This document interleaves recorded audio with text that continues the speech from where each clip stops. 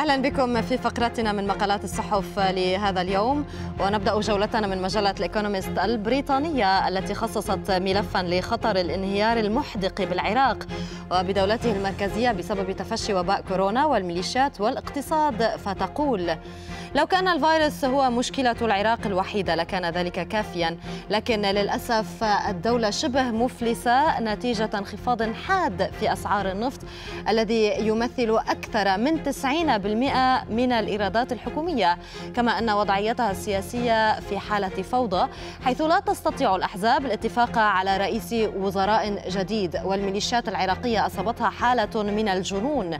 في حين تركز الولايات المتحدة وإيران اللتان ساعدتا العراق على تخطي الأزمات السابقة على محاربة بعضهما البعض.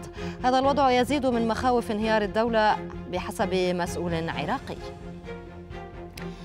تتحدث الايكونومست بالتفصيل عن الوضع العراقي المقلق فتقول الآن تريد بعض الميليشيات الاندماج في الجيش العراقي فيما اختار المزيد من المسلحين طريقهم الخاص كما أن هناك علامات على وجود مشاكل داخل الميليشيات. وحيث بدأت التصرف الجماعات المنشقة عن الميليشيات كالعصابات الإجرامية. وتدق المجلة ناقوس الخطر وتستخلص فتقول في غياب وجود زعيم وفي ظل انشغال القوى الخارجية بمصالحها الخاصة فليس من الواضح من الذي سيحافظ على وحدة العراق إذ من المرجح أن تستأنف الاحتجاجات بمجرد انحسار تفشي الوباء. وقد يختلف السياسيون والمحللون حول كيفية انهيار العراق لكن الكثيرين يعتقدون أنها مسألة وقت فقط.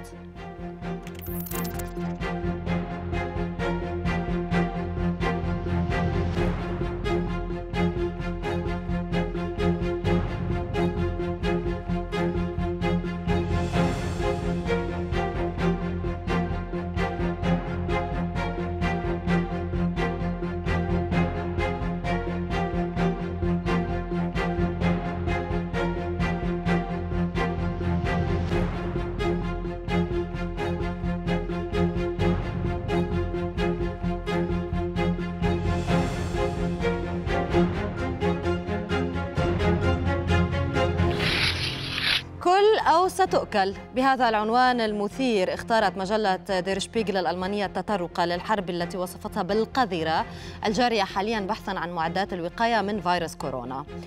حرب عالمية شرسة تدور رحاها بشأن الكمامات وأجهزة التهوية ومعدات الوقاية حيث قامت الدول الغنية بمزاحمة فقراء العالم للحصول على إمدادات قليلة.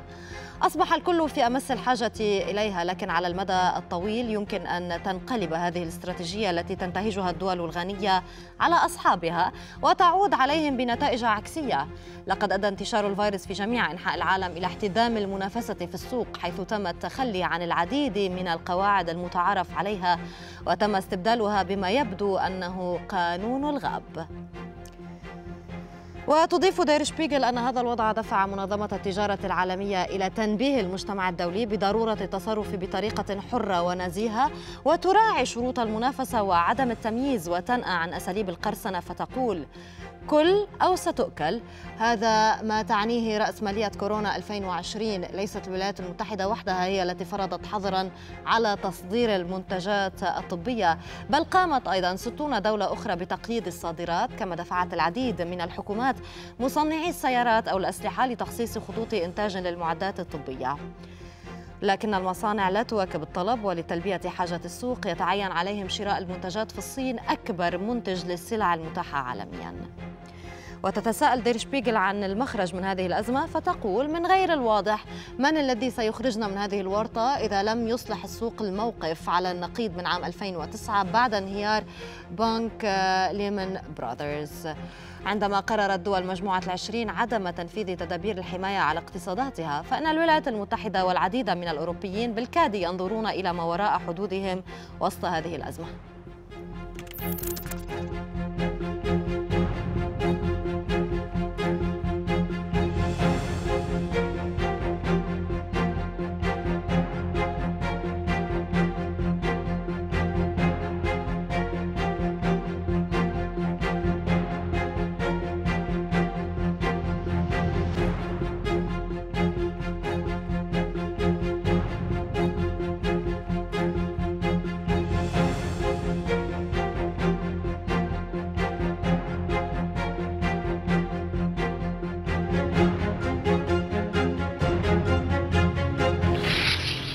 ونختم من جريدة لوموند الفرنسية التي خصصت مقالا رئيسيا لمعضلة إعادة فتح الحدود الأوروبية فتقول نفذت معظم البلدان ضوابط صحية وقيودا على التنقل عندما أدركت أوروبا أنها أصبحت مركزا للوباء. لكن العودة إلى منطقة الشنغن يعد أمرا صعبا أدى انتشار الفيروس إلى تعليق ما يعرف بأوروبا بدون جواز سفر.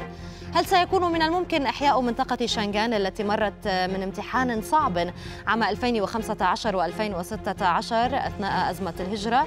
نعم تقول مفوضية بروكسل إلا أن مصدرا دبلوماسيا يشكك مؤكدا الجانب الفوضوي تماما للوضع الأوروبي الحالي وتواصل الجريدة بشأن معضلة إعادة فتح الحدود التي تؤرق ساسة الأوروبيين فتقول مصير هذه الإجراءات التي هي مبدئيا مؤقتة يجب أن يناقش في قمة أوروبية مقبلة بموازاة مع المفاوضات المكثفة بشأن الجواب الاقتصادي على الأزمة.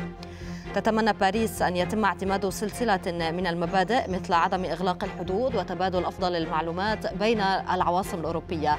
لكن الإليزي يقول إنه يدرك أنه لن يكون من الممكن التحرك نحو تنسيق تام بين الدول الأعضاء بسبب الدورات المختلفة. لهذا الوباء على أراضيها.